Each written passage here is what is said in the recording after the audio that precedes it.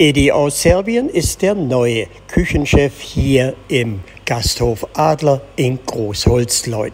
Seine Kochkünste sind weltberühmt. Gelernt hat es übers Cellphone, übers Handy.